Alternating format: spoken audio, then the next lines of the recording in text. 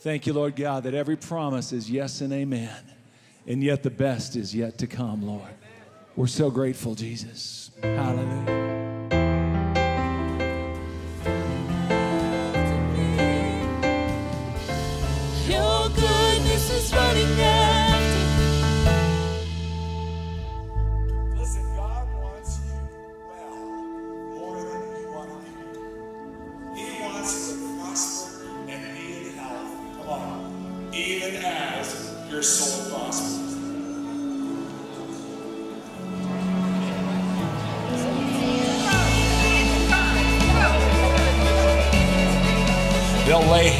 The sick and they will get sicker. Is that what it said? We're going to lay hands on the sick and what? They will recover. Amen. Praise God. This is the power of the Word of God. healings are going to start to happen and manifest. They're happening today at Healing School. Are you expecting? Is anybody expecting? Well, if you're expecting, why don't you stand to your feet today? Those of you here in the auditorium, thank you so much for coming. It's going to be a great healing school. We're going to be hearing from Sharon Rich today. She's got a wonderful teaching that she's prepared. And I'm telling you, wherever you are joining us from around the world today, I just want you to know that God is for you. He's not against you. He is for you. And you know what He says in His Word?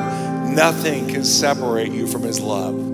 No sickness, no disease, no situation will ever separate you from the one who paid the price that nobody else could afford. So, man, if you're there watching on the internet right now and you've got somebody with you or somebody in the house or someone in the office that you know could really benefit from this time, go get them, have them join you, and we are going to have a great time today.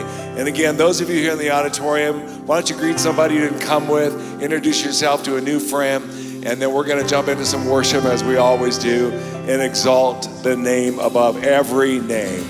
Come on. Put your hands together. When the battles are raging, surrounding me, there's a weapon of worship that brings defeat. It echoes heaven, it echoes heaven on the earth. When the walls and the giants are all I see, there's a song that I shout till there's victory. It echoes heaven, it echoes heaven on the earth. And all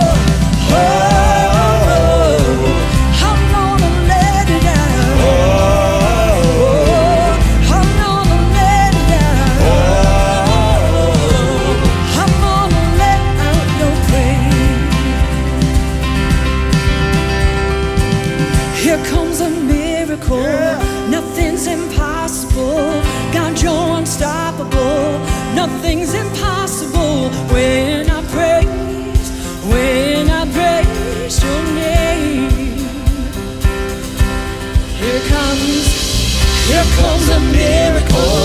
Nothing's impossible. God, you're unstoppable. Nothing's impossible when I praise, when I praise your name.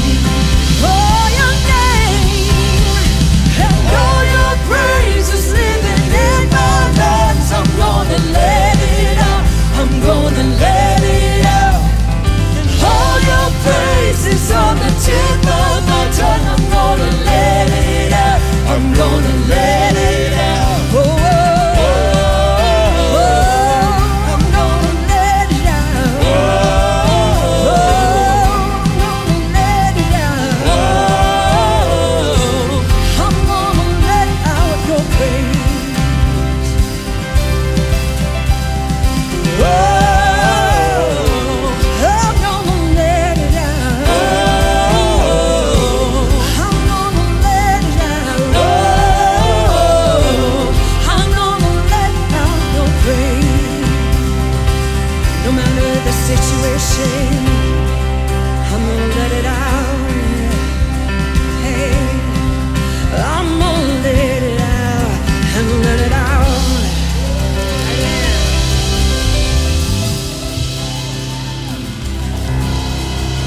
God, we're so grateful for your praise that's living in our lives. You said that you gave us a brand new song when we got recreated.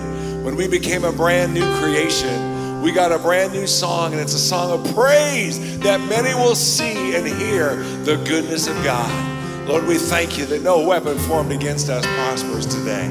Thank you that you're turning around whatever the enemy intended for our, our destruction and for our harm, and you're turning around for good. Amen. Tell somebody, God's turning it around for good for you. Come on, tell somebody. God is turning it around for good for you. Come on, sing this with me. This is working for my good. Yes, it is. This is working for my good. The Word of God's alive and doing what it should. This is working for my good. Oh, yeah, come on, let me hear it. This is working for my good. Yes, it is, yeah. This is working for my good. The Word of God's alive and doing what it should. This is working for my. I think we better sing it again. This is working for my. This is working. This is working. This is working for my good. The Word of God's alive and doing what it should. This is working for my good. I see what you see, I hear what you hear. I will never bow to unbelief and fear. You gave me good news, something I could use. Nothing left to do but give my praise to you. Yeah, this is working for my good. This is working for my good. The Word of God's alive and doing what it should. This is working for my good. I see, I see what you see. I hear what you hear. I will never bow to unbelief and fear. You gave me good news, something I could use. Nothing left to do but give my praise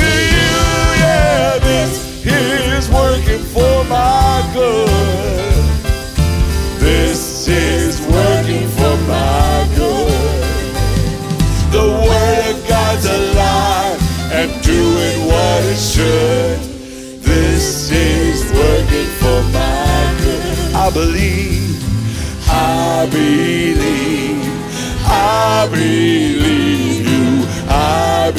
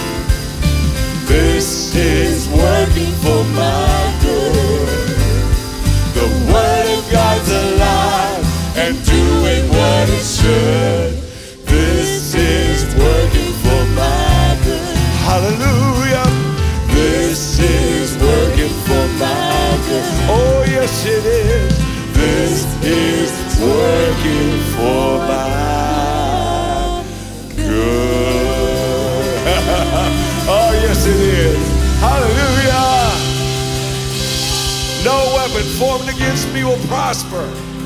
Thank you, Lord God.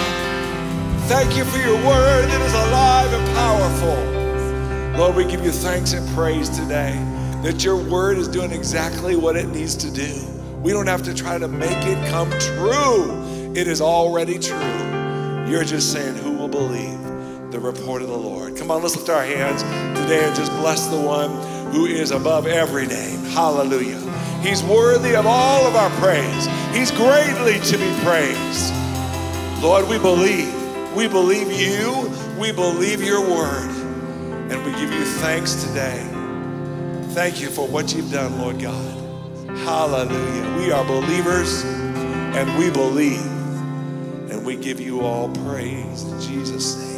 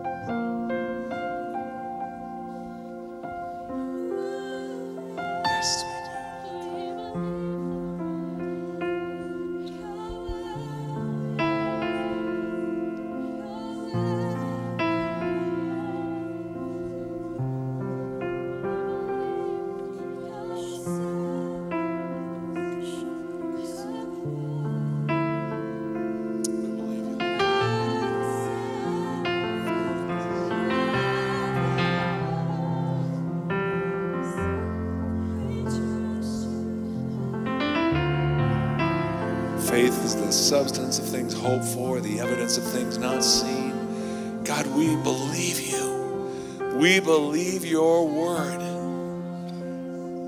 That's what we see. We see your word. We see what you said. Not only do we hear it, but we see it. That's where our hope is anchored. Not in the circumstances, not in the symptoms, but God, we see where our hope is anchored. It's in the substance, it's in the evidence. And God, we believe. Because you said it.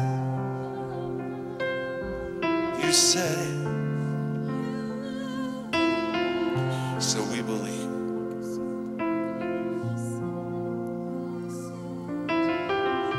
There are several people receiving their manifestation even right now. In Jesus' name. You just said in your heart, I'm not waiting until the end. I'm going to receive it right now. I hear the Lord saying, Yes.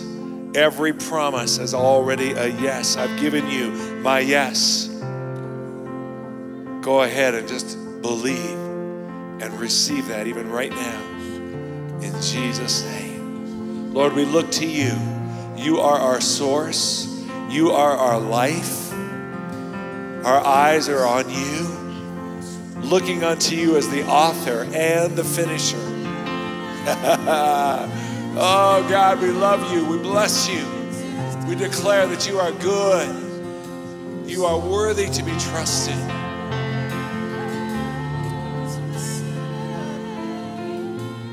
You move the unmovable. You break the unbreakable. Your supernatural life living in us. Oh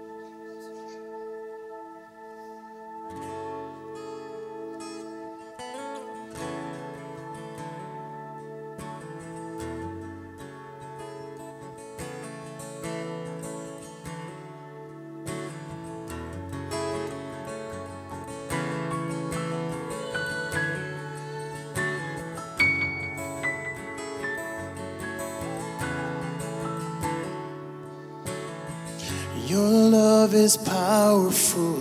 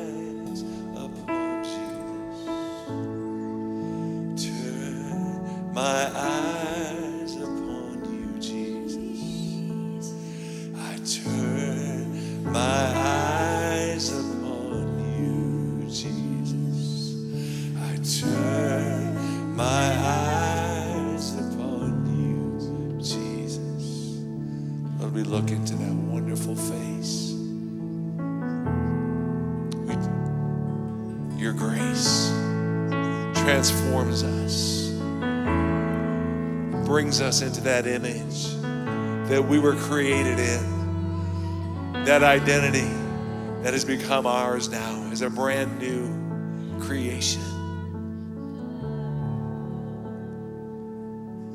We look to you, God.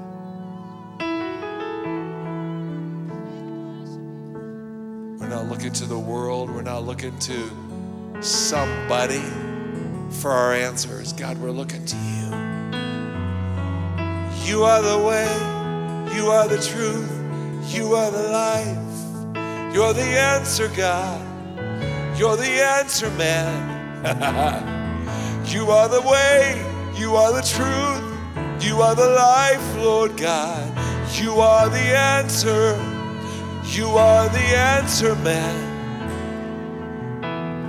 Every question we have, God, you've got the answer. We cast all of our care on you. Place our eyes, our perspective, our focus on you. We say, Jesus, be exalted. Jesus, be exalted.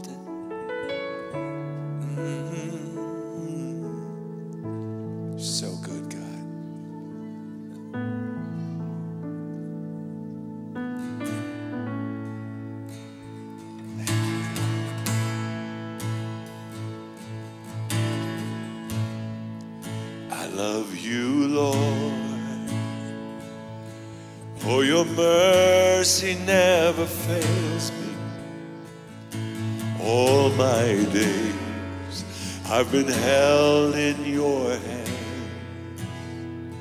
From the moment that I wake up until I lay my head, I will sing of the goodness of God. All my life you have been faithful.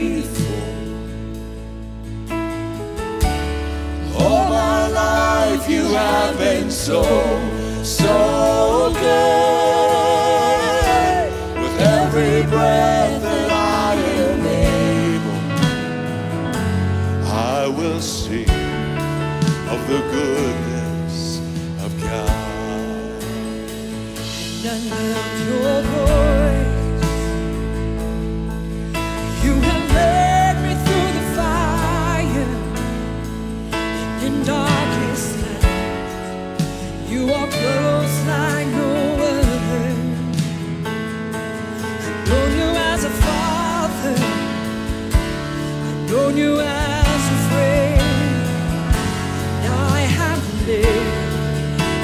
Lived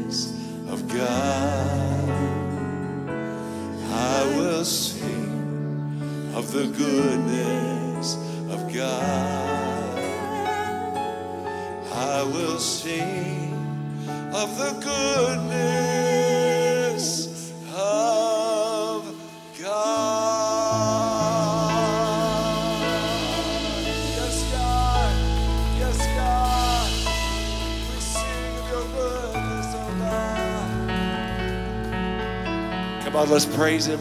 Let's worship Him today. Thank Him from your heart with your words. We will sing, Lord God. We will sing of your goodness. We will sing. Lord, we raise a hallelujah right in the middle of that hospital room, right in the middle of that circumstance, right in the middle of that sickness and that disease.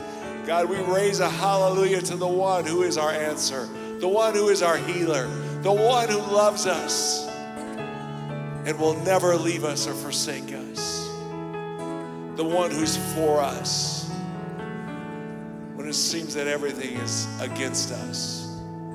God, you are so awesome, so great, so good. We will sing. We will sing. We will sing. We'll sing of your goodness. We'll sing of your power. We'll sing of your faithfulness. We'll sing of your of your steadfastness in our day today. oh God, we love you. We bless you.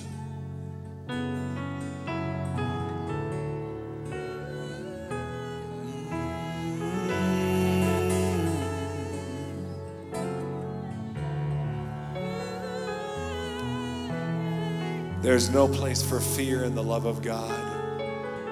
And His love that's perfect is already working in you. And that perfect love, His love, is just pushing out all that fear right now in Jesus' name. Thank you, Lord, that we can cast all of our care over on you because you love us, you care for us. We don't have to be stressed. We don't have to be filled with anxiety, fear, and worry. But God, we can rest in your finished work. We can rest in the victory that you obtained on our behalf. We will sing of your goodness, Lord. We will sing, we will sing of your goodness. We will sing. We will speak. We will teach. We will preach. We will prophesy. We will declare your goodness from the housetops, from the rooftops. We will say that you are good. You are good. You are good. Oh.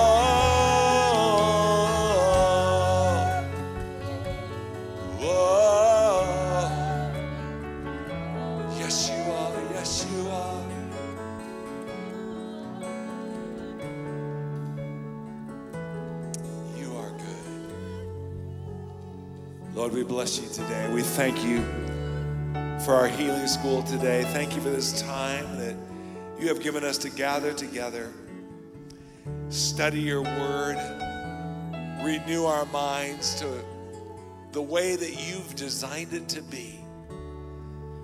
Not for us to be squeezed into somebody else's mold and somebody else's fear and somebody else's carnal normal, God, that we can choose to live supernaturally and live in the blessing of the Lord. And God, that's what we have decided to do. So, Father, I thank you for Sharon. She gets ready to teach here in a few minutes. I thank you for everyone that's joining us around the world today, wherever they are joining us from. I thank you for all that you're doing here in our Colorado campus and in this ministry. And God, we give you thanks and praise. And everybody said, in Jesus' name,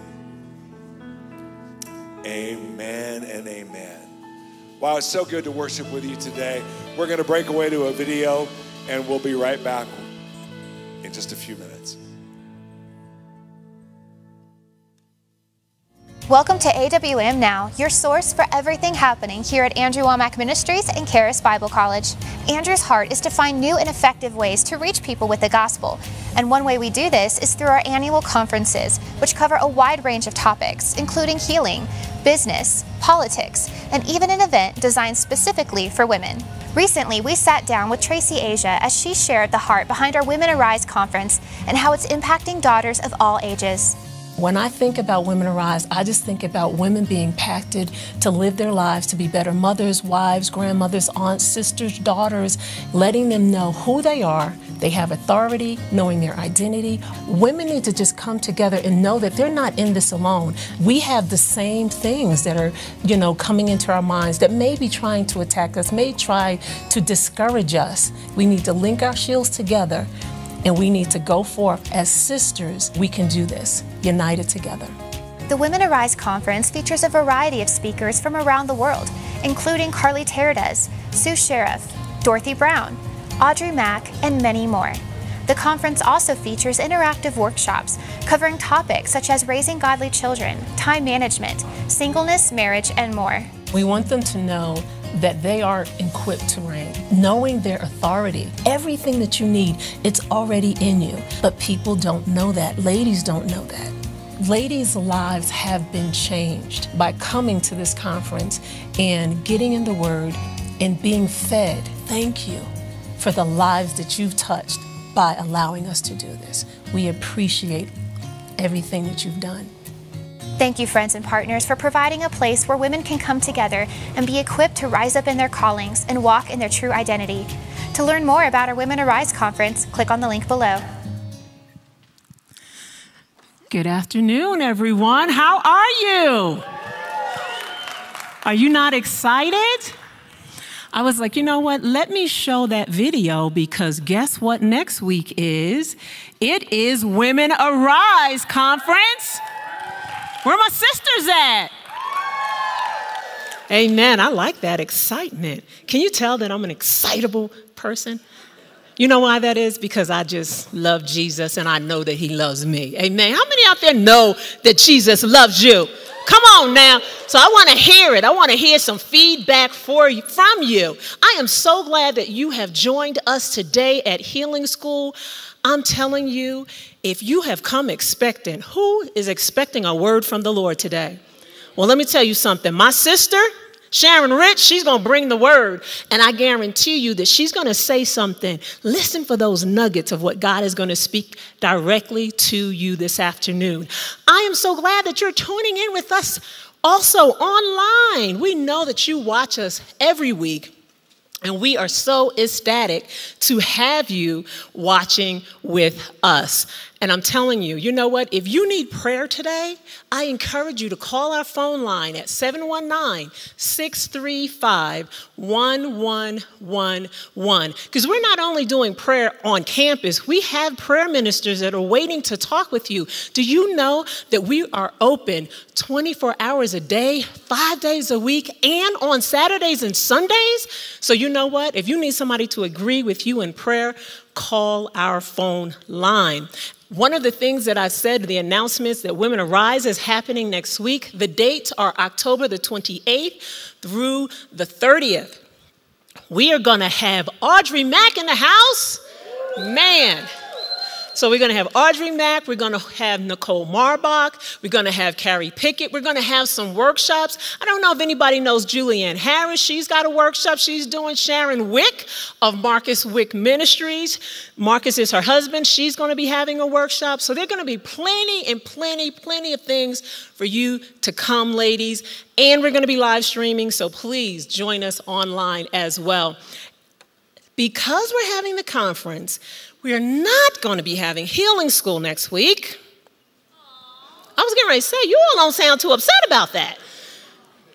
We won't be having healing school next week. We are busy here at the ministry, so we won't be having it live, but you can tune in and watch us. We're going to show a replay, and the replay will actually be of Audrey Mack because she would have taught last next week anyway. So it'll be a replay of Audrey Mack teaching at Healing School. It'll be the same time, 1 p.m. Mountain Standard Time.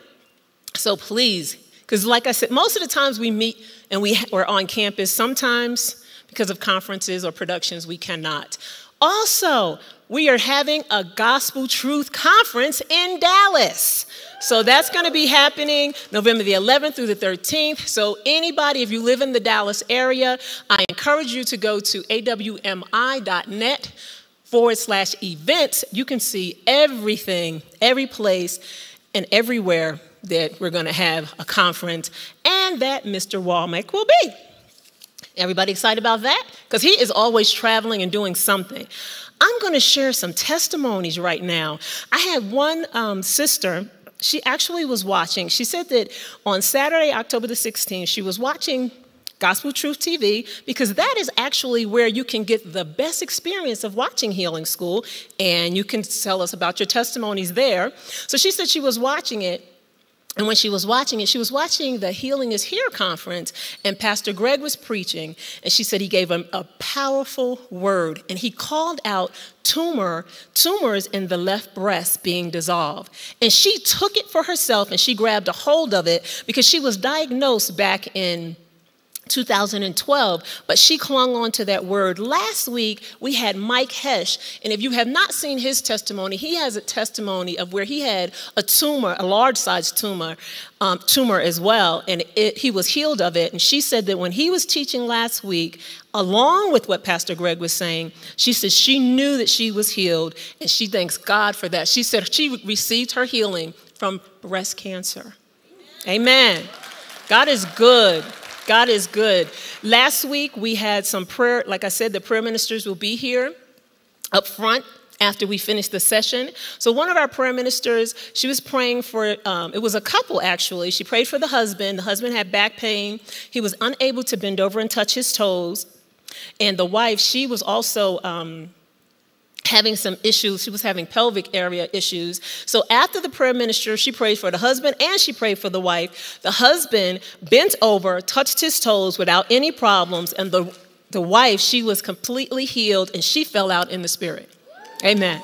And I saw the husband, I saw him uh, also. He was bending over, touching his toes. He too was laid out in the spirit. God is good. We had one person, uh, another person that came up for healing of agreement, and they said that they had COVID earlier in this month. They had they were diagnosed with COVID and they were feeling tired. They had coughing and everything. But after that, they said that um, as a prayer minister was praying for them, she said that she was listening to the Holy Spirit, and the Holy Spirit just kept saying depression, depression. And so as she heard that, she said something to the, to the woman that she was praying for about depression. And she said, I don't know, the Lord is just calling out depression to me. And the woman just started crying. And she said that when she said that, she started crying and then she dealt with that. Because you know, sometimes we think when you come up here and you come up for one thing, my prayer ministers, they are anointed of God and they're listening to the Holy Spirit, and the Holy Spirit is speaking things to them that even though you come up for that, the Lord might say, I need you to deal with this with my daughter, I need you to deal with this with my son. And then everything else comes into play. So after she prayed for her, she said she felt so encouraged in the power of God. She began to praise the Lord and she was just smiling. Her whole countenance was just different because she came up for one thing, but really what she was dealing with was the depression. And just, I don't know what it was from, what was going on in her life, but you know what? We don't need to know. God knows, and He will meet you right where you are. Amen. I'm telling you, God is amazing and He loves to do that. How many of you like to receive some gifts? Because I like to give away stuff, you know, and Mr. and Mrs. Wommack, they have taught us that we need to give. It's better to give than to receive. And we're, you're here to receive a word from God, right? Well, we're going to give you some product as well. So at this time, I'm going to have my brother, he's going to come up here, my brother Tim, and we like to give these away. What are my first time guests? Anybody here for the very first time? You have never come to healing school. Amen. We are so glad that you joined us. Well, my brother Tim, he is going to see who's excited that's been here. This is their first time here, and he's going to put that in your hand. That is a DVD, and it is about God wants you well. Because we here, you're here. So I'm preaching to the, I'm speaking to the choir. I know that you all know that God wants you well, but you know what? Maybe somebody doesn't know that. Even if you've, if you've gotten that before, you know that, you heard when Andrew has taught it before, how about you give it away to a gift? Give it away as a gift to somebody else that does not know that God wants them well. Because he's, I tell you, he teaches so plain and simple. I told you that we're going to have Audrey Mack next week, right? Well, she has this teaching. Um, and it's called A Table Against Our Enemies. And when I was looking at this, I was like, this is powerful. In Genesis, the 14th chapter and the 18th verse, King Melchizedek which is a type of Jesus, took communion with Abraham to celebrate God's mighty power and victory over his enemies. This, what this is, it is a message um, about communion. And we really need to know what it really means to have communion, what, it, what we get in doing that, what it actually does for us. Anybody want that? First time guest? Nobody wants it? This is another uh, DVD I want to give out. It's called Destiny Stories. It's volume two. And this is um, different people that, I mean, just ordinary people that have been touched by God.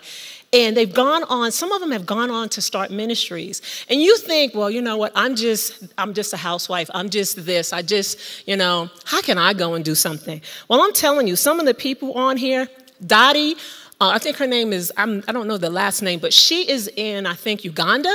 She lived in Virginia, never left Virginia in her life, and she's been living in Africa. So you're talking about ordinary people. Julie Mapatano, one of my sisters, again, she came over here. She originally, she had, uh, she came with her husband, and her husband has since went home to be with the Lord. Six kids. She came to Charis and everything. Now she's got a ministry, Redeeming Love Ministries. So, ordinary people doing things for God. Is anybody, Brother Tim, is going to get that to you?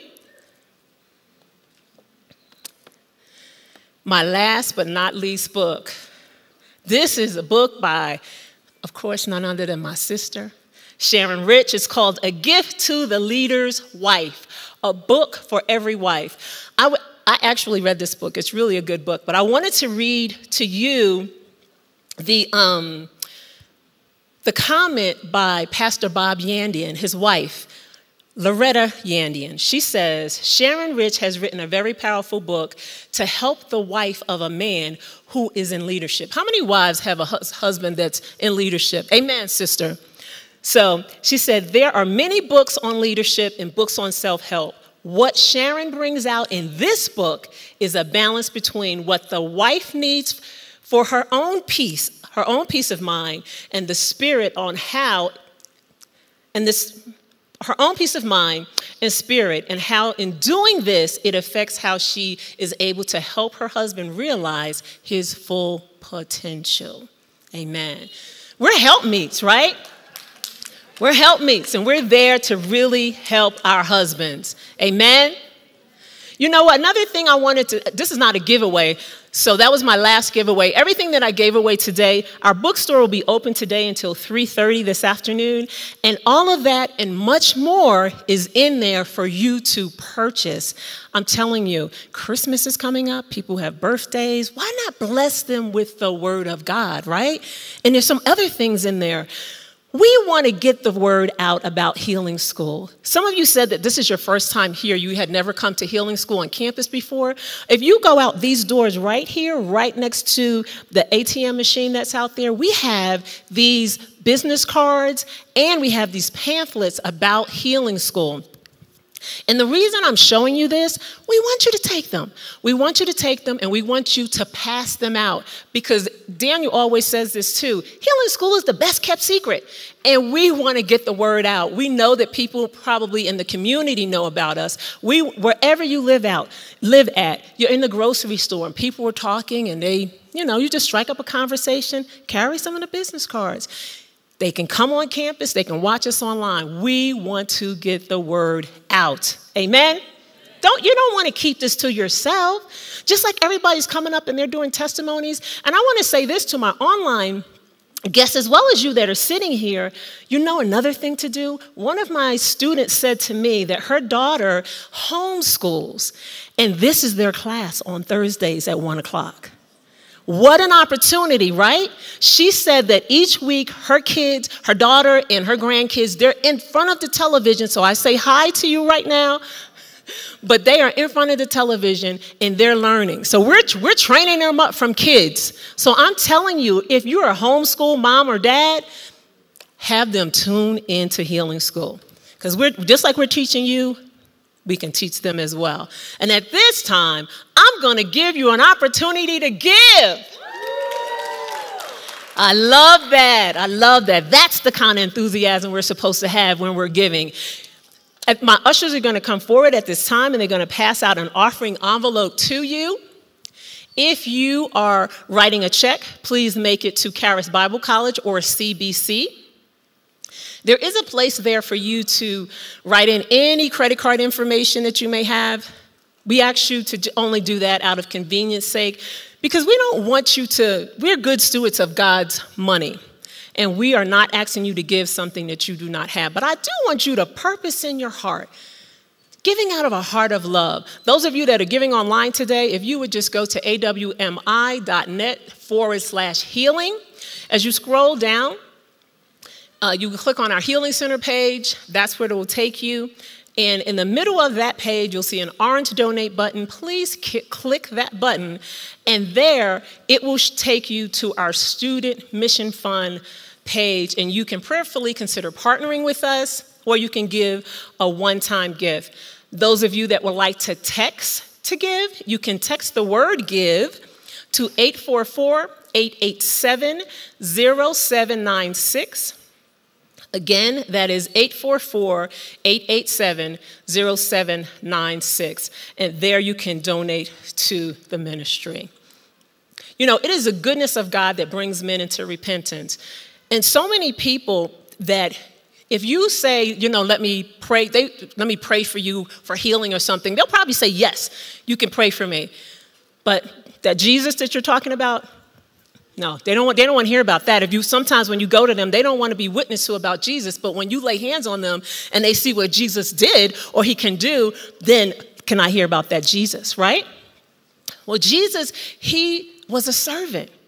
And that's exactly what we're here to do. As you see all of these students that are passing out the envelopes, some of them met you at the doors and at reception. They're going to be here praying with you. Some of them are alumni, some of them are students. And we are doing that same example of serving. Jesus went far and wide to get the, the message out, right? Well, that's what these students are doing as well when they go on their missions trip. When we look at Philippians, the second chapter, verses 5 through 8, in the Passion Translation, it says, And consider the example that Jesus, the anointed one, has set before us, let his mindset become your motivation. He existed in the form of God, yet he gave no thought to seizing equality with God as his supreme prize. Instead, he emptied himself of his outward glory by reducing himself to the form of a lowly servant. He became a human. He humbled himself and became vulnerable, choosing to be revealed as a man and was obedient. He was, per- he was a perfect example, even in his death, a criminal's death by crucifixion. He was a servant, and that's what all of these students are doing here. They're servant, they're serving, just as Jesus did. It is an honor for us to give today and to give and sow. So I want you to just purpose in your heart to give out of, out of a heart of love not just because you're giving into the mission fund here, but also that these students are going to go out and serve. They are going to go places that you and I, we probably can't go sometimes, especially with the ministries that God is placing on their hearts to do and go. But the gospel, it has to be preached. And you know what? We need money to do it. Amen? And if you're being fed here, man, just, I mean, bless it and sow seed because I, I, I encourage you. This is good ground. Amen. Amen. So let us pray. Father, we just thank you. We thank you for this time. We thank you, Lord God, for just the, the love that you have for us and the love that we have to just sow today, God. We thank you, Lord God, that you give seed to the sower, God, and you give it to us, and we're sowing it in good ground, good measure, shaken together and running over, Lord God, shall we receive, Lord God. There'll be no lack in any home that gives today, God. I thank you, Lord God, that you see their heart, their motive behind giving today. It is blessed in Jesus' name. Amen. And at this time, it is my honor and my privilege to welcome to the stage our Director of Healing School, Daniel Amstutz. Thank you, Tracy, and thank you for coming to the Healing School today and being a part of this. We've been uh, we established the Healing School back in 2011, and so what a blessing to be able to have this happening week after week after week for all of these years. And uh, we are just always grateful when you are here. So again, I heard there are several people that are here for the first time today to the Healing School on our Colorado campus. Can I see your hands? Will you wave at me? Man, that is awesome. So, welcome. Great to see you, and great to have all of you with us today that are here for the first time, especially. And of course, you old timers, it's really great to have you as well. So, thank you for coming. Thank you for being a part of the Healing School today. And again, we are going to have someone teach today who has taught for us several times before, uh, one of our favorites. And uh, she and her husband are on staff here at the ministry. And uh, Sharon has just been an incredible blessing. She's a motivational speaker, she's an author, she's a minister, she's a recording artist. And oh my goodness, she's just an amazing lady. So, will you give me a big Charis Healing School welcome to Mrs. Sharon Rich today? Hallelujah. Come on and now let's give Jesus a hand. He's wonderful for all the things that he has done. We magnify him and we glorify you, Jesus. Just so happy to be here again at Healing School. It is indeed an honor, a privilege to grace this stage and to minister to the Lord's people. I am very grateful to our director, Daniel Amstutz. To, amen. And to Tracy Asia and to Mr. and Mrs. Wommack, I wish to thank them, you know, just for their obedience unto the Lord and for them even giving such opportunity for us to minister to the Lord's people. Amen. I wish to also thank a cousin that is with me, Max Frank, Mr. Max Frank, Pastor Max Frank. so grateful that uh, he was here this week and he's, it's been a wonderful time in our home with Pastor Max. And so grateful for all of you, my father's children. Now I wish to pray. I believe that God has a word today. How many of you believe that God has a word today? After such a time in worship, it just prepares the ground for everything that God would say and everything that He will do to transform us in this time that we're together. Amen. I just think it's a privilege. This is once in a lifetime. I'll never be this age again.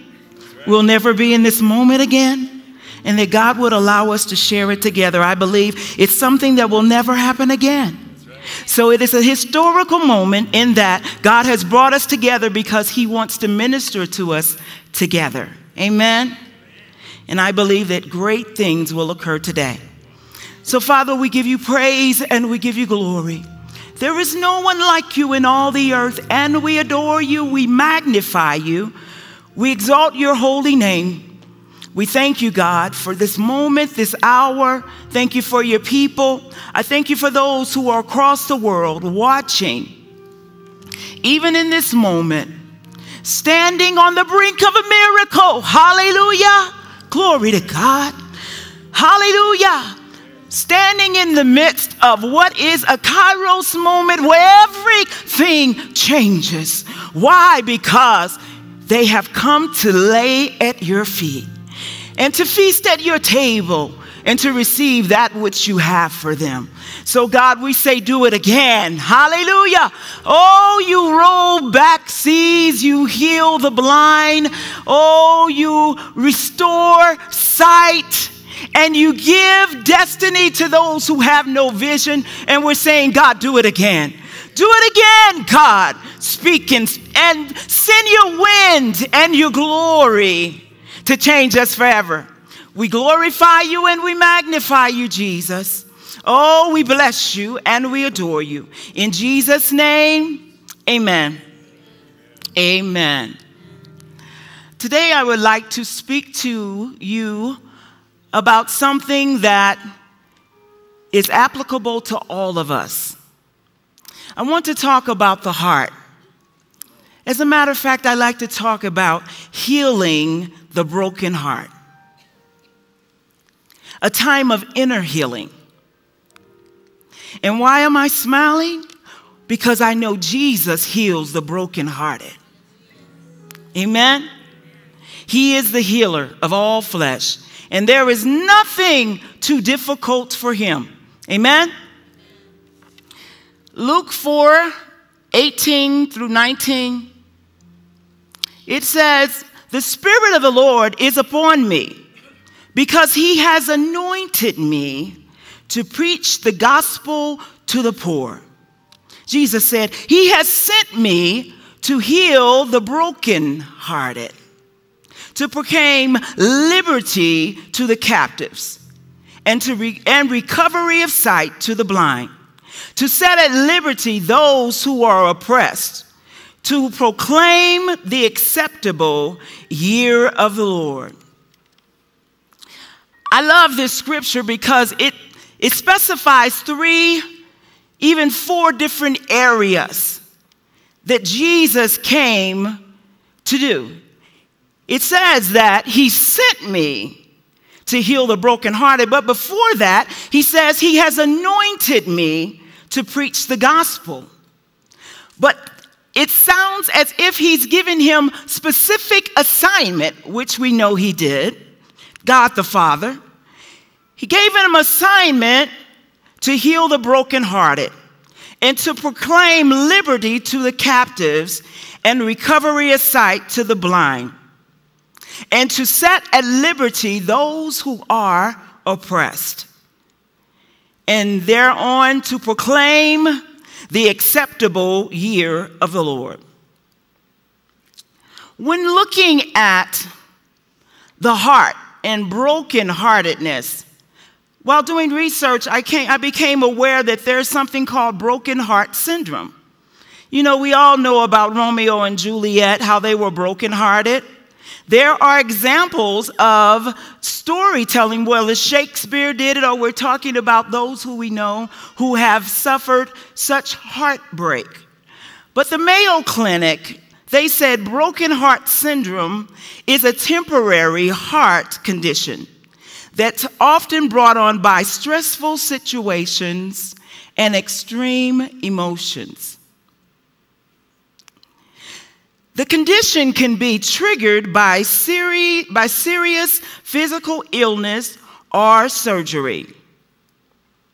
It may be also called stress cardiomyopathy, and it yet speaks of a temporary condition in which there is sudden enlargement of the heart muscles. They went on to say that triggers of this particular of cardiomyopathy, when it occurs, it not only affects the heart, but it also affects the vessels. And it says that 90% of reports that are shown that often, even though it occurs with many individuals, that it often targets ladies. And then we have what seems to be it just takes its pick where it says people with, people with broken heart syndrome may have sudden chest pains or think that they are having a heart attack. Broken heart symptoms, syndrome often affects just part of the heart, temporarily disrupting heart's normal pumping function. The rest of the heart continues to function normally or may even have forceful contractions. Now they say that this particular condition that it may heal itself in a day or two. But these are some of the things that we find that triggers it as well the death of a loved one, a frightening medical diagnosis, domestic abuse, losing or even winning a lot of money, strong arguments, a surprise party, public speaking, job loss or financial difficulty, divorce, physical stressors such as asthma attack, COVID 19 infections, broken bones, major surgery. Now, out of all those things, we are aware that some, something like that has an event of one of these kinds have happened before to most of us, where you've had a surprise party or sudden news. And um, it is interesting to know that this triggers it. When we're thinking of triggers and we're thinking of heart matters, we must be aware of what causes triggers of our heart. We must be aware of what actually causes a change of heart within our emotions, our being. And by knowing these things, we're able to guard against them. Amen? It is said that over 600,000 people in the U.S. die every year over heart situations or complications. And it's also said that 18.6 million deaths are attributed to CVD globally. And so that's all the bad news, all right? Say bad news. Bad, bad news, yes. And so we have the good news of Jesus Christ. There is hope, there is a future, and I've talked about heart conditions simply because I believe that there are links to what is happening in a person's body along with what happens in their emotional realm. They have proven it. They did a study of 40 people were analyzed in New York, and all of them who felt intensely rejected or they took part in this study. And what they noticed is that when they thought about their best friends, you know, a good relationship, their heart and their brain signals, it, it changed. And then when they thought of things that had broken their heart, it affected their heart as well as affected their emotions. The reading in the survey showed the change. And so all of these things are very, very um, instrumental in allowing us to see that the way that we think, act, the things that we encounter, that it has an effect on us.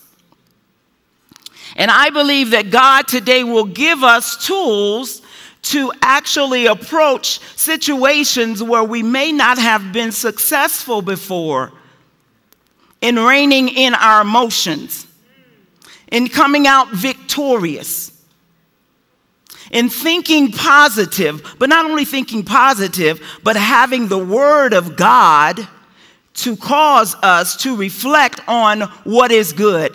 The scripture says, Proverbs 17 and 22 says, A merry heart doth good like a medicine, but a broken spirit drieth the bones. When we translate dry at the bones, it speaks of actually, it like totally wrings the strength out of you. It takes away your joy, it takes away your bounce back. It takes away your resilience. It drieth the bone. That's what a broken spirit does. And it says, a merry heart in Proverbs 15 and 13 again says, a merry heart maketh a cheerful countenance, but sorrow of the heart, the spirit is broken. Proverbs 18 and 14 says, the spirit of a man will sustain his infirmity. So if you have joy going through uh, what it looks like, what has come to attack your body, sickness, disease, infirmity, the spirit of a man. They say, you know, they say that there are individuals who are more positive than others. So they say that people who are positive, who actually look for the good, in what is going on. They're, not, they're optimistic, not pessimistic. They, they look for what is good. You have you've met those people that if even if it's a sunshiny day and everything's going well, they're like, I know it's going to rain on my parade. I just know. I just know it's going to rain on my parade. Regardless as to how beautiful it is right then. Because they are thinking negative. They believe that if anything negative can happen, it will happen to them. And a lot of times, what has happened to break individuals' spirits through the years cause them to think that way. We have to, on purpose, determine that we're going to think positive, that we're going to believe God's word, right? In all of those three scriptures, the Hebrew word for broken or wounded means stricken or distressed. It is referring to someone who has been battered, fractured, torn. It also speaks of the sorrow of heart that sometimes encourages depression, oppression. And so, all of these things are very common to man. David said, he had an experience of brokenness, but he felt like his brokenness was because of his transgressions. And one may believe that God is angry with them because of their past transgressions. There is a scripture that says, Old things are passed away, and behold, all things are made new, or are new, are made new. Amen? And so we know that God is not angry with us that he, we are the apple of his eye, that he's numbered the hairs on our head. Amen. Be they great or small, he's numbered them. Things change. Say things change. But we're going to stay happy in Jesus. Happy in Jesus. So he loves us so much. His, his thoughts are many towards us, more than all the grains of sand upon the sea his thoughts. So every moment he's thinking about you. Say, God is thinking about me. His thoughts are many towards me. Amen. So in Psalms 38, 1 and 8, David was having some one of those moments where he felt like that some of his hardship had come because of his transgression. And it says, Oh Lord, in first in the first verse of Psalms 38, it says, Oh Lord, rebuke me not in thy wrath, neither chasten me in thy hot displeasure. And then in the verse 8, it says, I am exhausted and completely crushed. How many people in here have life ever crushed you? You weren't expecting it, it was a suddenly, just something out the blue. When you've, when you've done right by people and they choose to wish and pray that you forget how to breathe, that kind of cursing. when you meet those people and you go through life situations, you got to keep a smile on your face and decide that I am the apple of God's eye. yes. Who or what can be against me if God be for me? If God is on my side, if God is commanding the blessing, the yes and the amen over my life, regardless as to what's going on. I knew a family, they had fire after fire after fire, and they lost everything.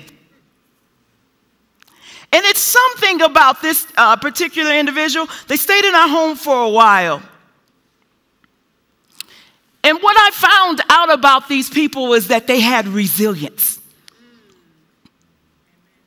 They kept with their pattern. This is what I do in the morning. This is where I go. These are the people that I interact with. And this is what I'm doing to prepare my future another place to live, to replace things that have been taken.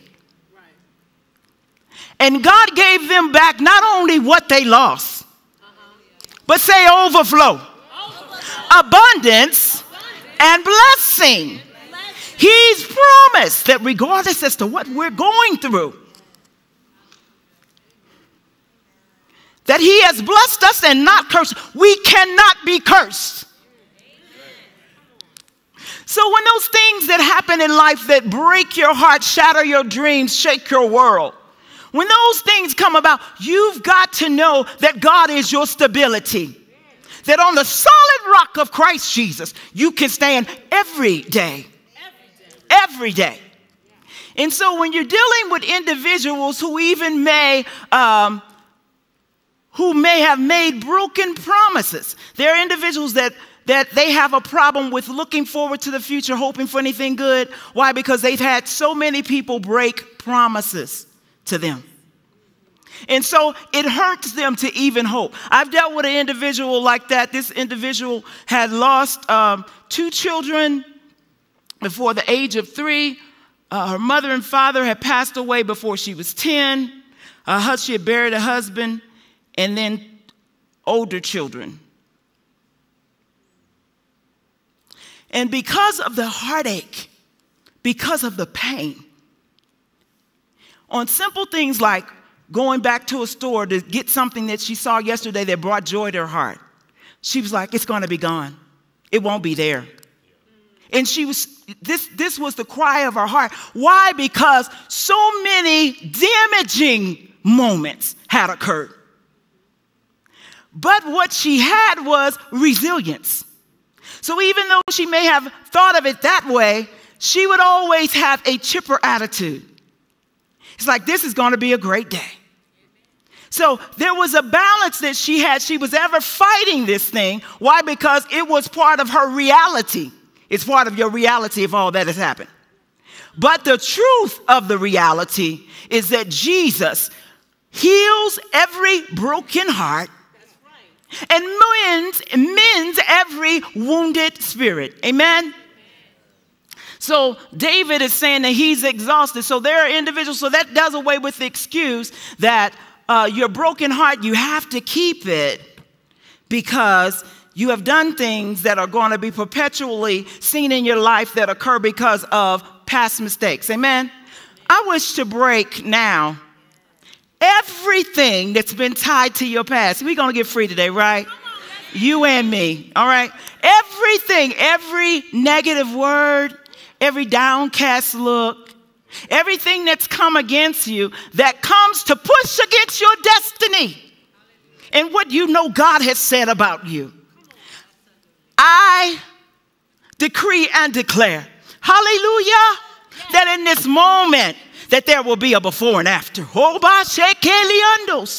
hallelujah, a before this day and after this day.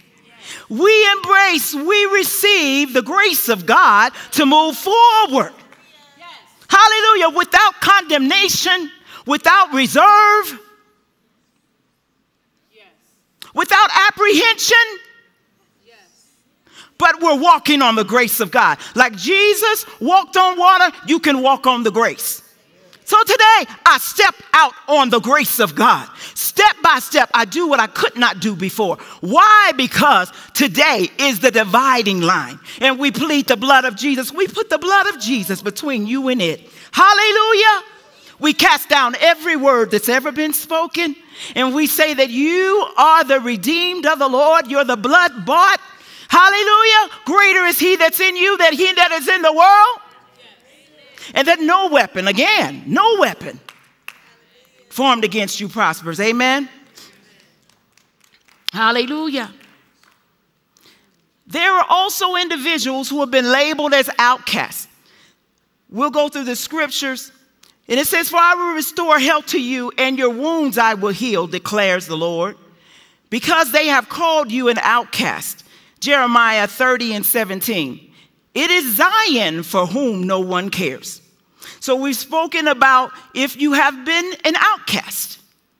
You know, uh, I grew up in a very large family, and so I've always been like, you know, I bring my own posse. You don't mean no harm, but I bring my own posse. And God has given you your own posse. The blood bought, the redeemed. Come on now. Your brothers and your sisters in Christ. He's given you, hey, that's good. He's given us a cloud of witnesses. You know, every once in a while, you just need to tag a friend in a text and say, you know what? You say, Greater is he that's in me, and have them give you back a scripture. And you send them a scripture and you go back and forth till the joy of the Lord rises in you. So resilient that whatever's going on in your world becomes just a shadow yeah. compared to what it would have been and in the light of his glory. Amen? And so, the next scripture, it says in Proverbs 13 and 12, it said, Hope defers, make the heart sick. And so, uh, deferring things that are being deferred, delayed, they can cause one to lose hope, to lose strength. But that's not today, right? No. Because we're living in the after overflow. Amen? Yes. What is the after overflow? It is that we, be, we believe that regardless as to what yesterday or this morning brought, that now we're walking on the grace of God. We're embracing the grace and the favor. You know, favor, I've heard people that say that favor is not fair, and it really isn't. Favor's not fair. Oh, no, favor's not fair. But you are favored. You are favored. You are favored. You are favored. The favor of the Lord is upon us. And so when you run into people who don't like your favor or they bump into your favor and they have exception with it, you've got to know this is not something that you gave yourself. It is a gift. Wear it well, honey. Adjust your crown and keep on walking. Put a smile on your face and keep on walking. And say, I'm surrounded with favor. Hallelujah. I'm surrounded with grace. I'm surrounded with hope. Why? Because it is the gift of God. Now, it would be foolish for an individual to work against the favor of God. Your enemies, it would be, it would be foolish. Why? Because he will every time bring them to an open shame. You cannot bump into favor, discard favor, walk over favor and think that there is nothing that is part of walking against the favor of God. The scripture said it's hard to kick against the prick. Why would anyone ever want to kick against what God has given? Whether it's when I look at this ministry and I saw the favor of God even uh, during the years while there were several different construction uh, programs going on and the nation were going through turbulent times. And yet, three different um, constructions projects were going on. Someone, some of them were concurrently, and other ones were going on just, I mean, really starting and going at the same time. And while we're serving as C, while I was serving as CFO, I would see the favor of God. I couldn't explain why other um, individuals were not seeing that kind of favor. When I say individuals, I'm talking about we would have, you know, Pastor uh, Brother Wommack would say, you know, what God was doing, and we would hear feedback, you know, we don't, it's not going like that, you know, here and have attitudes. The thing is, I'm not going to push against the favor of God because it flows from the head down. That's just common sense. Say common. common. Sense is not common anymore. That's all I'm saying. it's not. But common sense says that if favor flows from the head down and God has anointed him as a general in the body of Christ, I can decree and declare and say that if God is doing that for Brother Wommack, if he's given him a vision and he's staying the course to what God said, then the vision that God has given me, I'm going to stay to the course of it and I'm going to see the same manifestation of the glory, the favor, the finances, the provision of God. He's the same God and he changes not. He changes not. And if he did it for him, he'll do it for you. Walk up right before him, do what he said to do. What I saw about them in that moment, Mr. and Mrs. Wommack, they stayed the course of what the Lord said. They didn't go off and get another vision. They completed what God, and God funds his, his visions. He gives provision for his vision. Amen? All right. So hope deferred. So those who have been hoping, wishing, believing for things, and it seems like it's not happening, God, you're standing on the threshold of a miracle. Don't give up. Don't give in. Don't turn around. Stay the course. Say, stay the course. Stay the course. See, if I ever would have learned how to play um, golf or uh, bowling well, I would have known to stay the course. You just you position yourself regardless it don't matter if people throwing popcorn, cussing, drinking beer in there, just whatever. Of course, that wasn't where you probably want to stay. But I'm just saying, you just kind of stay the course. You're supposed to put one foot in front of the other and take the ball and go back and not pop your back out. and you stay the course and roll it properly. Yes. At some point, you're going to get the same results that the champions get. Yes. It's a fact. I love Tiger Woods and all those who have gone before and they do the honey. No, that whole swing thing. That whole swing thing.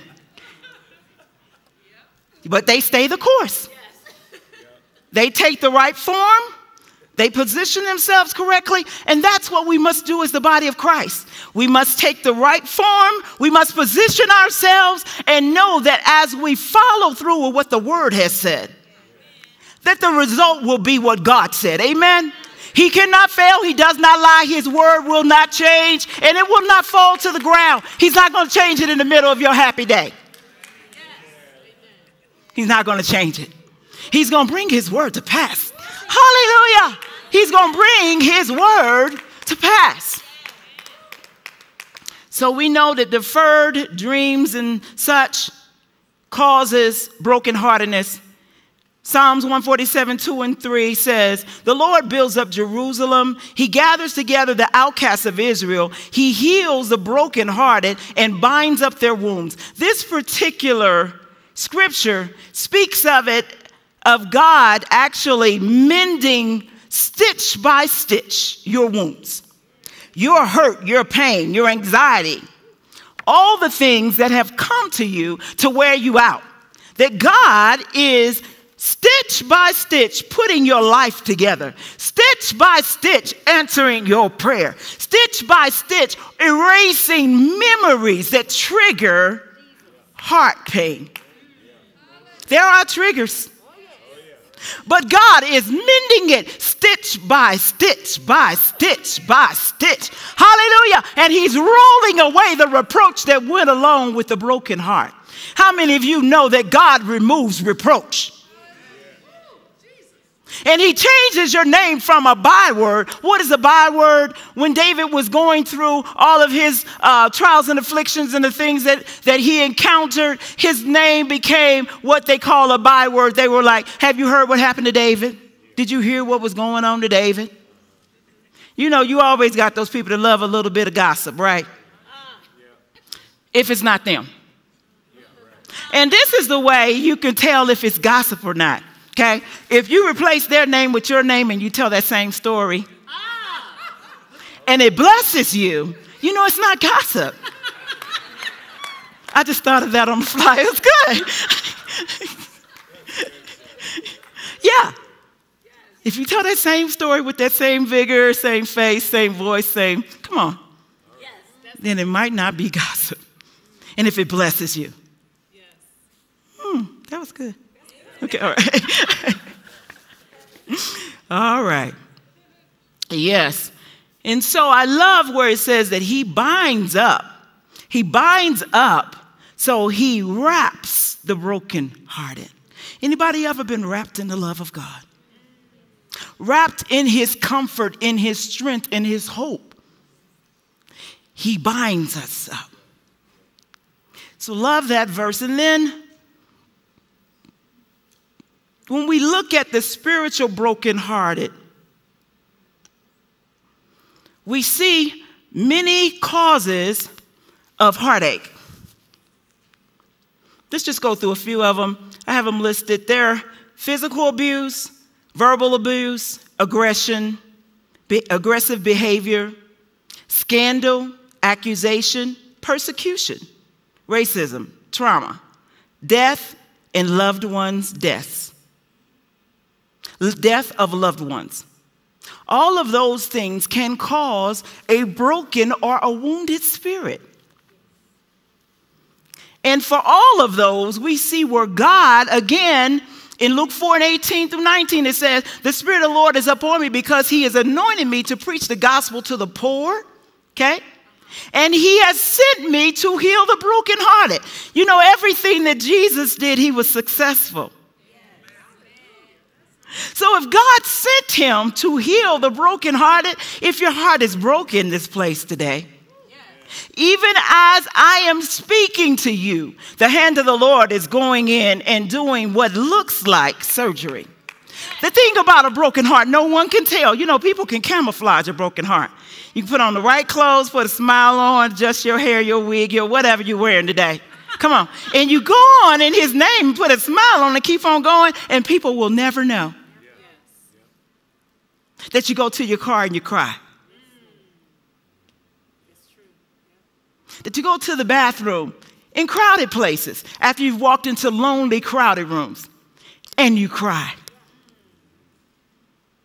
You readjust your lipstick, you come back out and you smile for Jesus. But there are many broken hearts. I am going to even go further to say that some of these things that happen as a broken heart are things that the body of Christ needs to experience. If we are the body of Christ, that means we have also have a heart. Amen? So the body has a heart. There have been things that have been disappointing to the overall body of Christ things that have been delayed with the body of Christ. There have been disappointments. And even as God is healing us today in this place, our physical body, our inner heart, I believe that He's also healing the body of Christ. There would have been a million things that I would have wanted to talk about, but I believe that God gave me to speak about this broken heart today. And that the body of Christ, what the enemy has tried to do, he's tried to use our trigger points. There are things that triggers the body of Christ that cause us to divide. When the world is dividing, we should not divide.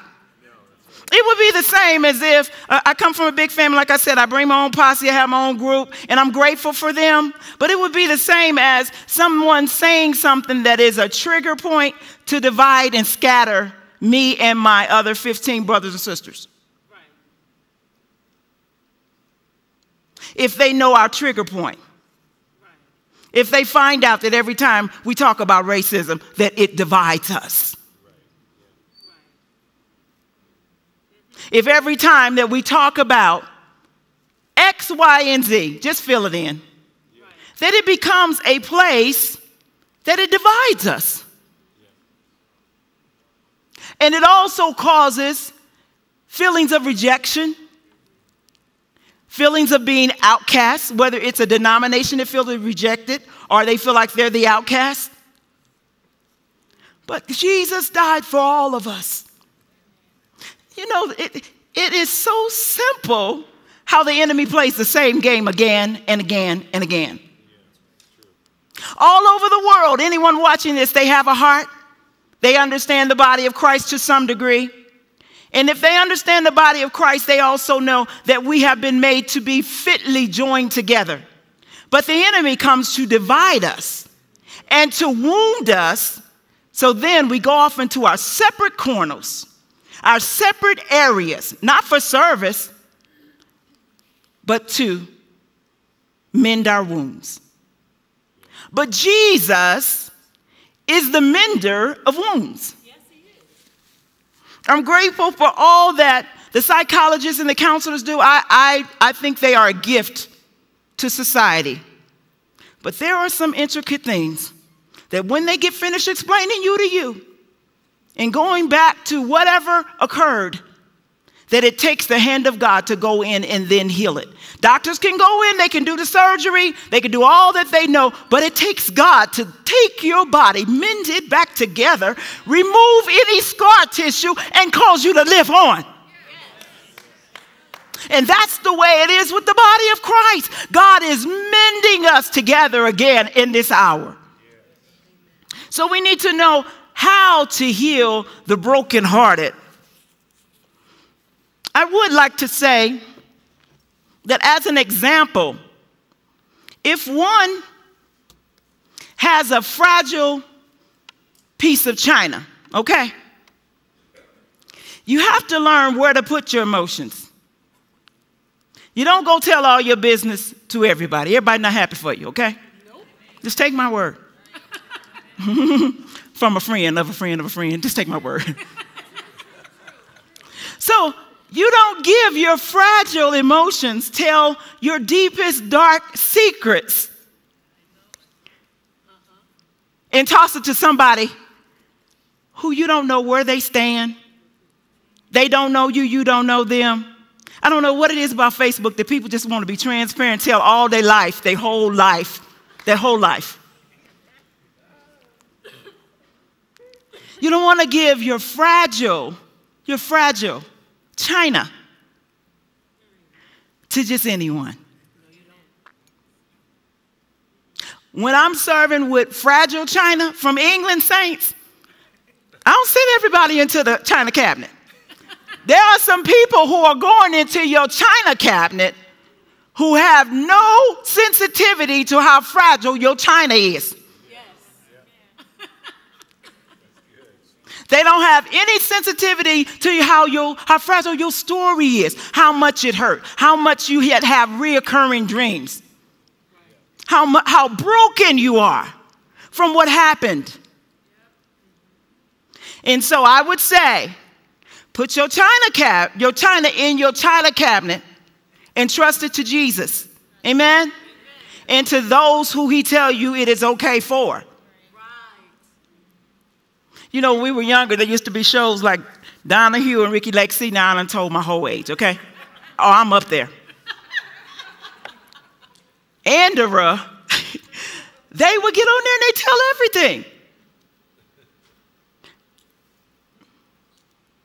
There are just some things you never tell. You take it to the grave. I want to say again there are some things, some broken places that you never tell. You tell it to Jesus, and He heals it, heals it. And if there are authorities that need to be involved, you do what's necessary. You go get counsel and such. You can't tell everything. Amen. Amen. All right. So when I see that things can be fractured and shattered easy, the broken heart, if this represents the heart, we have to be careful that we don't do things, whether we're talking about the body of Christ or we're talking about to individuals, that will break them and shatter them. Amen?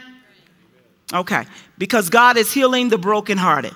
The scripture in Ephesians 4 and 32, it tells us how to heal the broken heart. It says, Be kind to one another, tenderhearted, forgiving one another, even as God in Christ forgave you. 1 Peter 4 and 8 says, And above all things, have fervent love for one another, for love will cover a multitude of fault and sin. Love covers. And then first, Second Corinthians 10, 4 through 5 says, For the weapons of our warfare are not carnal, but mighty through God to the pulling down of strongholds, casting down imaginations, and every high thing that exalted itself against the knowledge of God, and bringing into captivity every thought to the obedience of Christ. So, what do we get out of that? We're getting to cast down imaginations. After so many things have occurred, one can use their imaginative skills and their imagination. And sometimes, even the things that we think we're seeing, we're not seeing as they actually are. We see it through the prism of that hurt. We see it through the hue, the color of what happened before. And so he said that he has come to restore sight to the blind so the restoration of sight then becomes where we see things more clearly. Our vision clears up. It's not uh, jaded by our previous experience. But now it's looking through the eyes of faith, through the eyes of hope, through the eyes of a new day, through the eyes of old things are passed away and old and now all the things have become new all things. And so, with that, also what we're seeing is that we're to make love our weapon. So the weapons of our warfare really, we can't, you don't sow evil for evil. You never, say never, never. sow evil for evil. Never. never. See, but this is the thing. While they're sowing on you, if you, re- uh, so in other words, people may sow tares, weeds, bad things into, to, towards you or towards the group of people that you're associated with. If you don't sow back evil, you're not putting something in the ground that'll come up later as well. Yeah. See, part of what they're doing, it's going to come back with a great harvest. So you don't want to take part of the seed that they've sown and then plant it over in your field. Keep on planting gentleness, meekness, love, comfort, hope, long suffering. Keep on, keep on.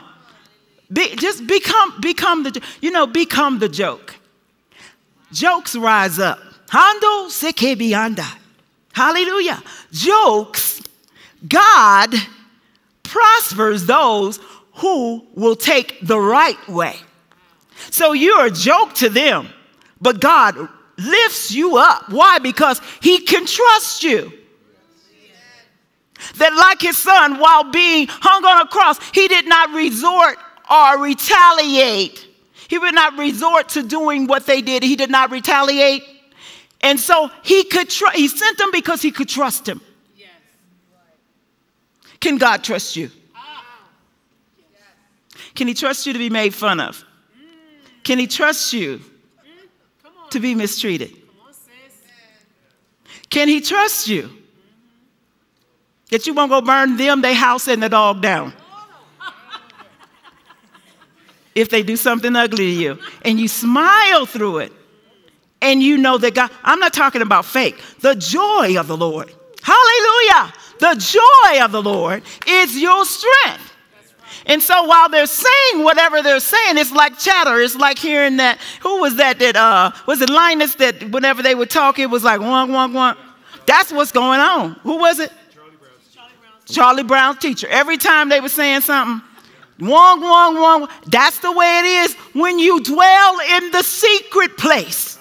When you decide that you're going to sit in heavenly places with Him, and that really You're going to choose to do that which is right. So you don't make that choice in the middle of what's going on. You make that choice before you get to that day. You just walk into that choice. You walk into that reality. You walk into that strength. Why? Because you sent strength ahead because you already decided.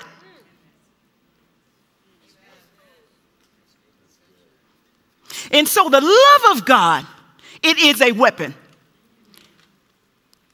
Only a weapon against the enemy, but it is a guard over your heart. There is a scripture that says, above all, guard your heart. With all diligence, guard it. Before you make sure that your stock is increasing, before you make sure that your profession, that you're moving along the career path, make sure that you're guarding your heart. And so the guard of the heart is making love your weapon. The scripture says in Philippians 4 and 8, it says, Finally, brethren, whatsoever things are true, whatsoever things are honest, whatsoever things are just, whatsoever things are pure, whatsoever things are lovely, whatsoever things are of good report, if there be anything virtuous, if there be anything of praise, think on these things. So it's deciding, making a mental decision that the reflex of what I'm going to do is I'm going to think on those things that were mentioned true, lovely, of good report, virtuous. All of those things that be of praise, that's what I'm going to think on. Why? Because it guards my heart. It helps me not to encounter what would later cause me heartache and pain and also manifest in my body because of brokenness.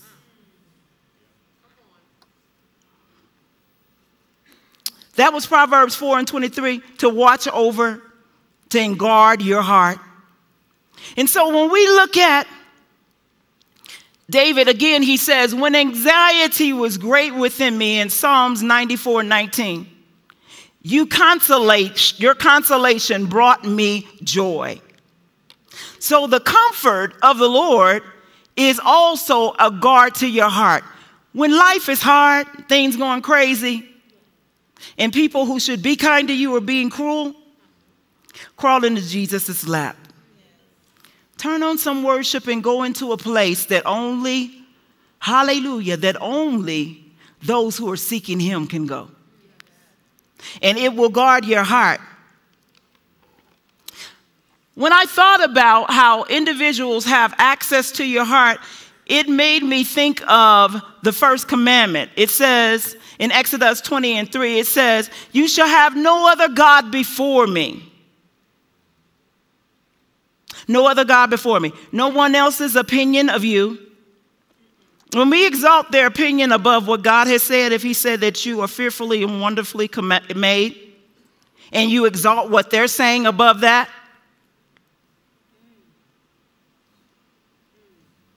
is He said He's given you the spirit of wisdom and knowledge and strength, and someone says something different, and you exalt what they say above what he has said, it's an idol. Why would you value what Run Run said over what Jesus said? Come on. Why would you? The person who knit you in your mother's womb hallelujah, who thinks about you constantly, who's preparing a place for you, who gives you strength day after day after day after day. Why would you take Run One's word over what Jesus has said?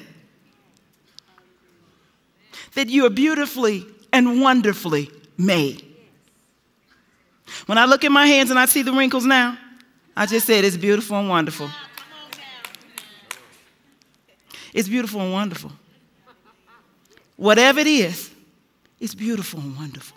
It's like looking at a masterpiece. I, I see this with young ladies, and they've bought into the lie, or the airbrush lie, that's on the, you know, magazines. They airbrush all of that. Y'all know they airbrush it, right?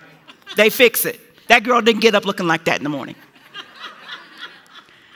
They fixed that girl. They fixed her, and then when they got finished fixing her, then they went back and they painted over what they saw that was the image. They airbrushed it. She don't look like that in the morning. She look like you. No lipstick, no eyeshadow, no contour, nothing. She looked just like you. And let me tell you something about these bodies. They are a vehicle. That's why when people get older and it's their time to go, whenever I'm talking about when they're 100 or whatever, and they like, okay, you know, I've done enough, I done seen it all. My children are good. I done finished my course, I've done the work. That's why they say, I'm gonna leave, I'm gonna leave this vehicle right here. I'm going to be with Jesus. Hallelujah. I'm going to step out of this reality and step into what is the real reality. And I'm going to be with Jesus. Why? Because it's just a vehicle. You want to treat it right. You want to give it gas as you would a car. So you want to give it the right nutrition, the right things that make it run. But it is a vehicle. Love your vehicle. Honey, put something on it and just say it's good. Whatever it is. That's right. That's right. Don't try to fit into what these, these man made little, you got to look like X, Y, and Z. It's like telling the master that his masterpiece was not good enough for you.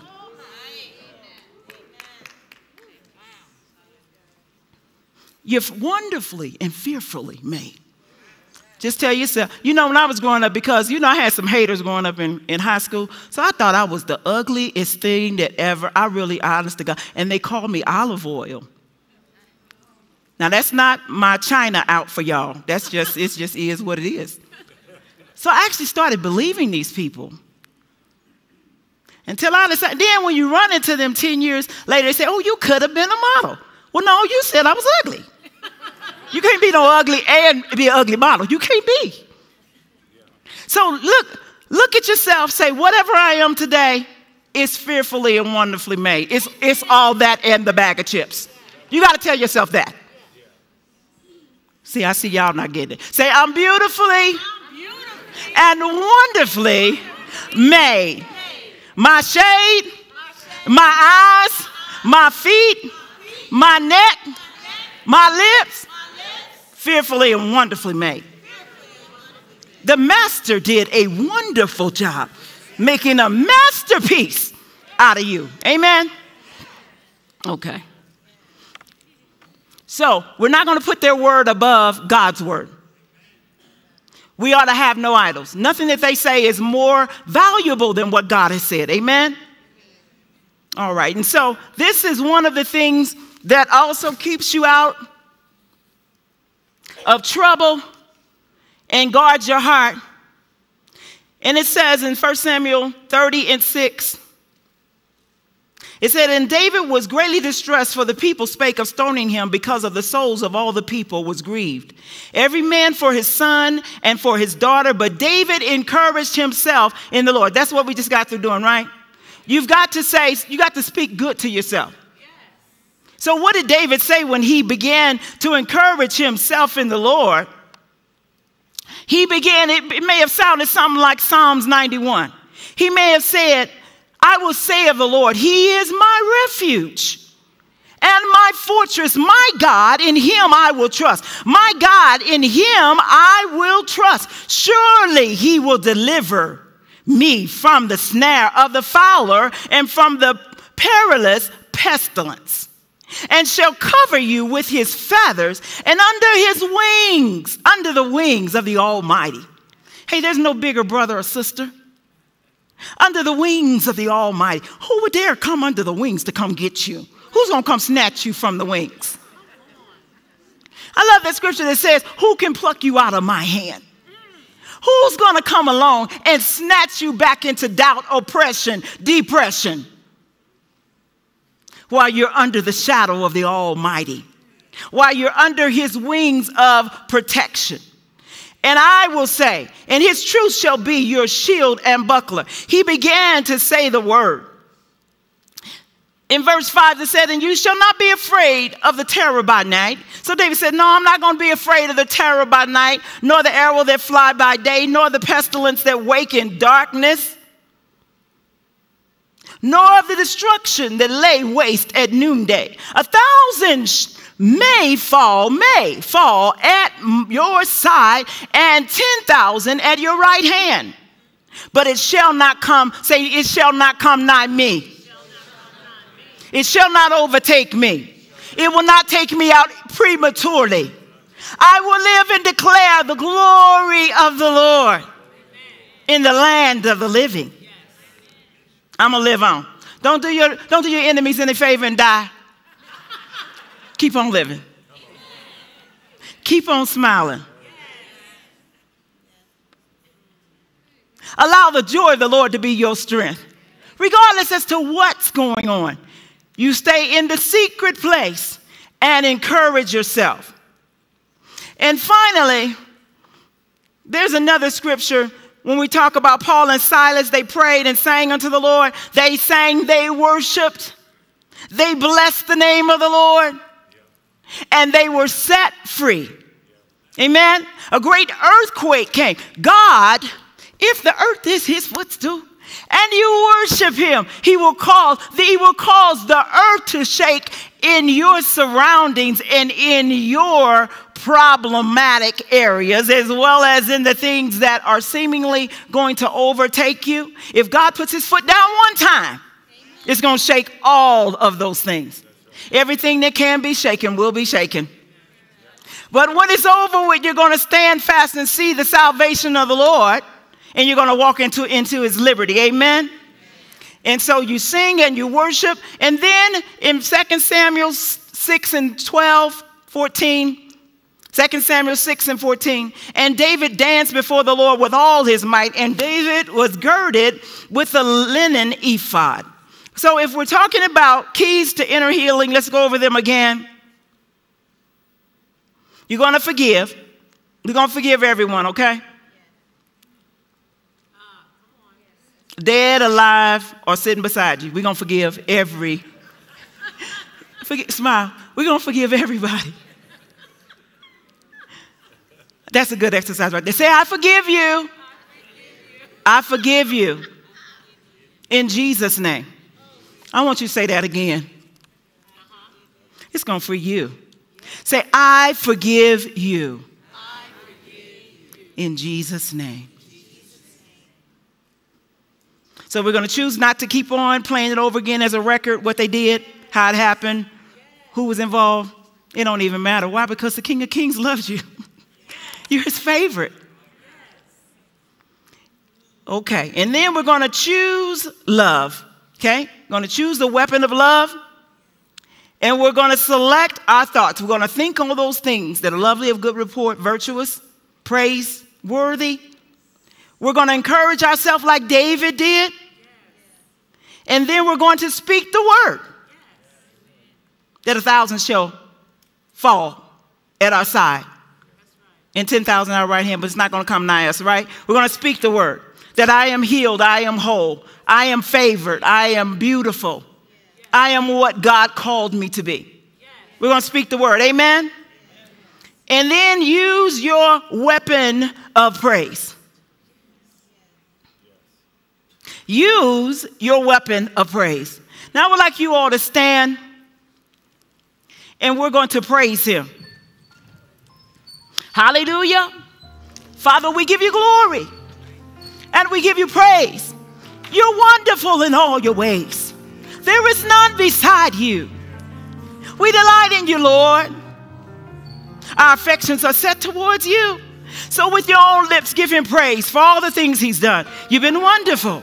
You made a way out of no way. You opened doors that no man could open, and you shut what could not be. Hallelujah. What should not be. We thank you for healing our body, our mind, our soul, our will, our intellect, our homes. Hallelujah. Thank you for healing our visions. Hallelujah. Thank you for giving us sight again. Thank you for giving us hope again. Thank you for giving us trust again. We will trust again. Say, I will trust again because I trust you, God. Hallelujah. So bless him in this place. Glory to Jesus. You are the everlasting God.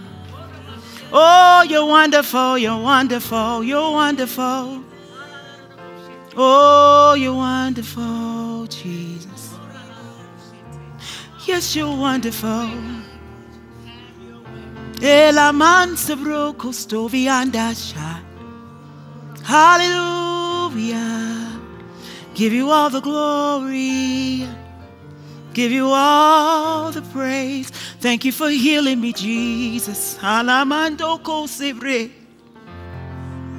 Thank you for mending me, Jesus. Thank you for hearing my prayer. Thank you for clearing the way. Thank you for the favor, favor, favor,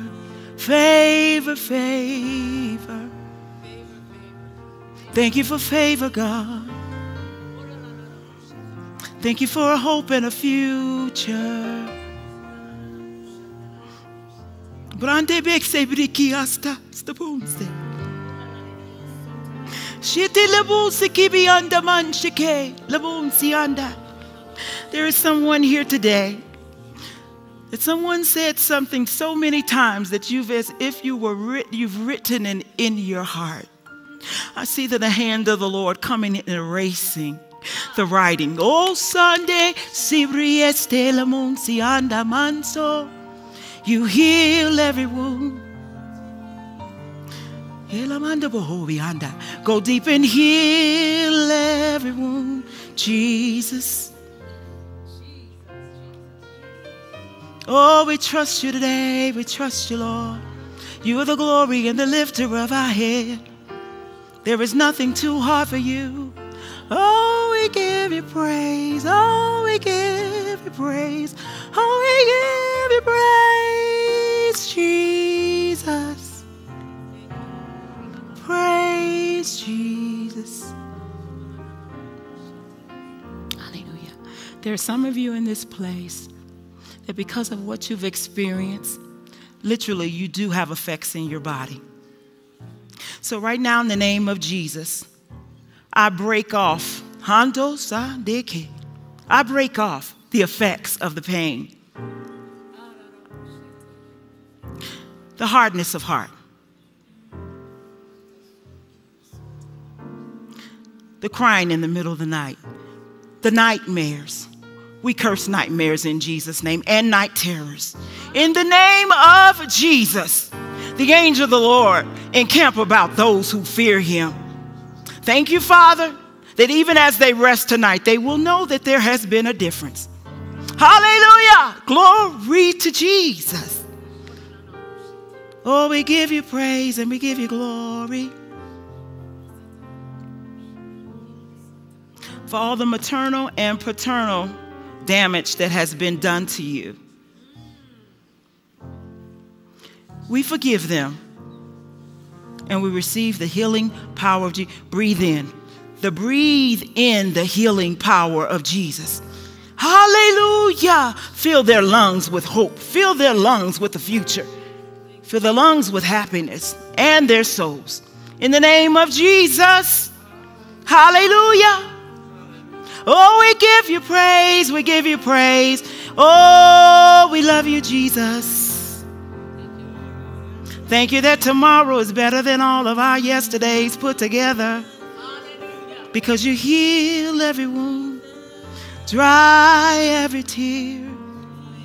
Oh, Jesus. Bless you today. The greatest pain that anyone could ever know is not knowing the King of Kings and the Lord of Lords. If you are here today, are you're watching online, and you wish to know this great healer, this great Savior,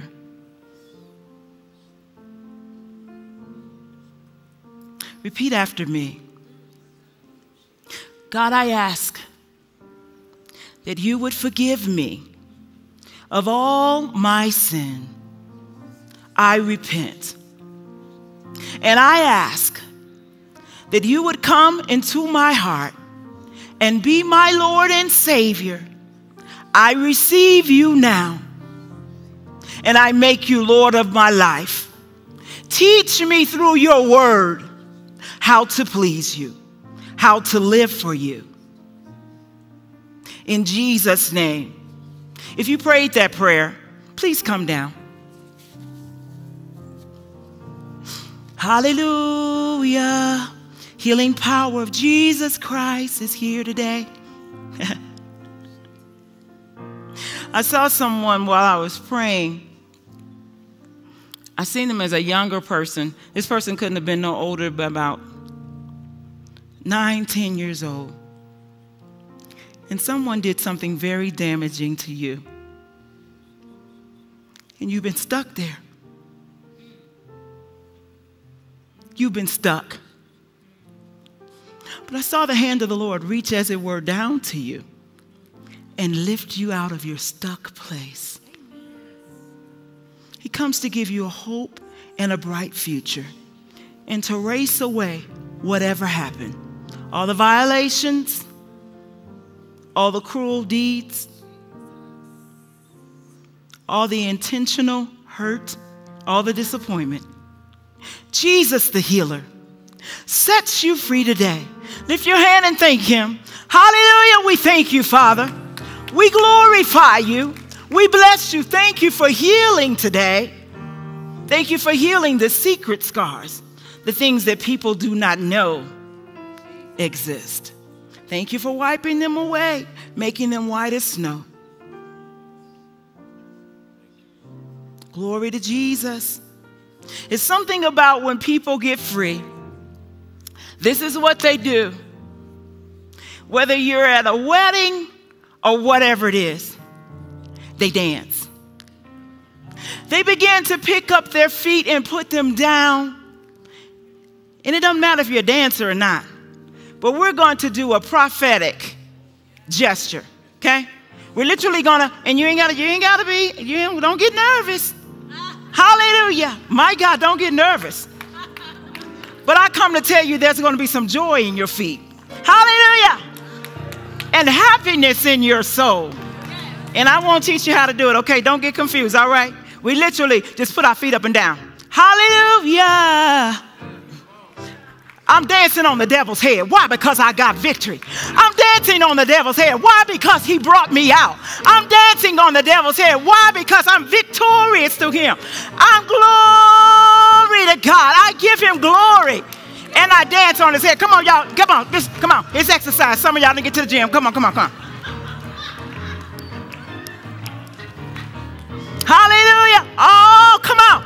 That's it. That's it. Yes, we bless you, Jesus. We glorify you. You're the King of kings and you're the Lord of lords. We love you, Jesus. There's none like you. Hallelujah. Hallelujah. Glory to God. Hey, you're stamping on the enemy's head. You're trampling on, hallelujah, on serpents and scorpions, on every lie. Hey, glory to Jesus. I dance because I'm free. I dance because I'm blessed. I dance because I'm favored. I dance because I'm victorious. I dance because the Son has made me free. Oh, hallelujah. We give him praise. We give him glory. We give him glory. We give him glory. We give him glory. Woo! Hallelujah. My, my, my, my, my, my, my, my, my. Woo! Glory to Jesus. And you know, this is the thing. That exercise, you can do it wherever you are. Hallelujah. Glory to God. Sometimes I just go in my office and I just go.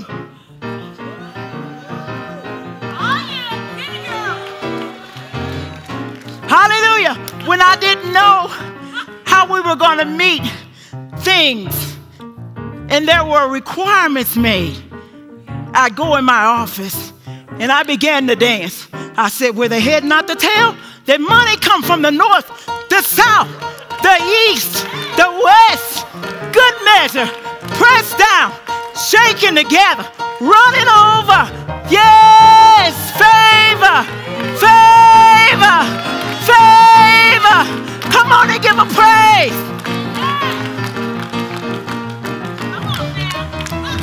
Woo! Woo!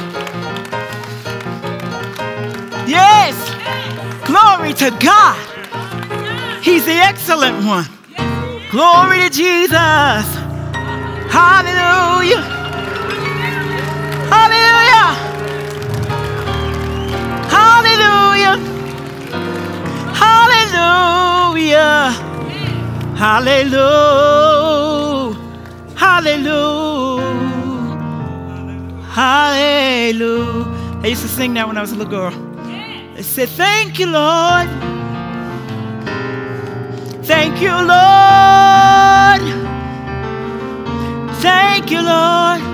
Oh, yeah. Thank you, Lord.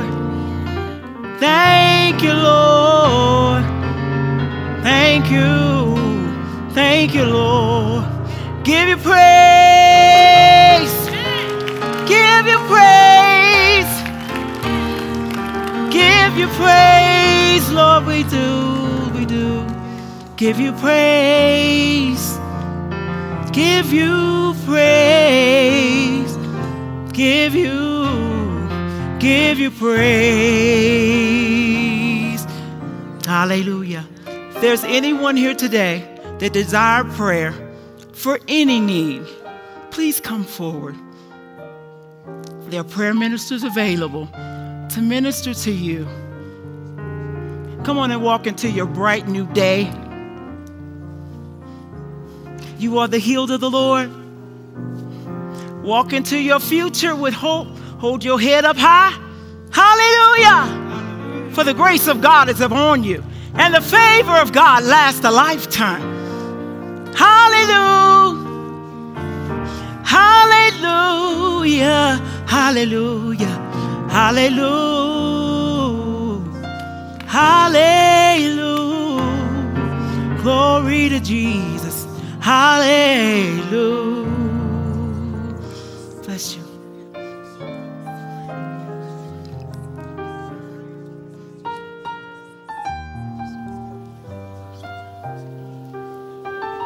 Hallelujah. Lord, we give you thanks today for what you've done in this place and all around the world. God, we know there's breakthrough. We know that there's miracle recovery, the healing of the brokenhearted.